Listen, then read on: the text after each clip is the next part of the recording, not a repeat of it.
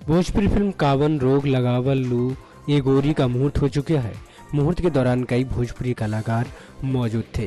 Film के कलाकार के साथ संगीत के धुरंधर भोजपुरी संगीतकार छोटे बाबा ने फ़िल्म के संगीत के बारे में खुलकर बात की, जिसे आप भी सुन लीजिए। ये कौन, रोग लगौलू ये गोरी।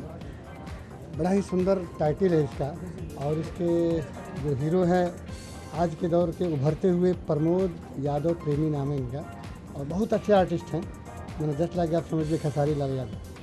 तो मैंने आने वाले दिन में इनका भी नाम ऐसे ही होगा।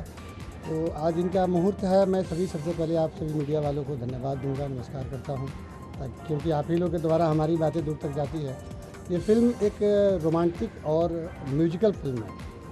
और इसमें काफ़ी गाँवटी मतलब सीन है। गाँव की कहानी है। और गाने काफ़ी अच्छे हैं इसमें। भीरू वृंदा जी इसमें गीत लिख रहे हैं और पुष्कर जी एक अरुण बिहारी करके भी हैं। डायरेक्टर हैं प्रशांत गुप्ता जी।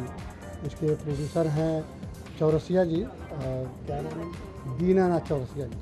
तो बड़े ही उत्सुकता है उनके अंदर और बड़ी एक हौसला लेके आए हुए हैं। ये पहली बार उनकी पहली फ़िल्म है।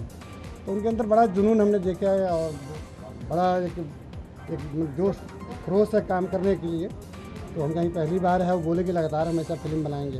तो गाने इसमें सब अच्छे हैं, मेलोडियस गाने हैं, सभी टाइप के गाने हैं। गाने इसमें आठ आठ ही गाने आजकल तो लगे आठ ही गाने गाते हैं। हाँ हम गाएँगे, हम तो चाह रहे हैं कि इसमें दीदी रोल भी करेंगे और ममता जी गाएँगे ही, और तीन गाने ये प्रमोद जी गाएँगे, और बाकी आलोक जी, इंदू जी सबको गाते हैं। नेक्स्ट मैन न्यूज़ के लिए अनुज मिश्रा की report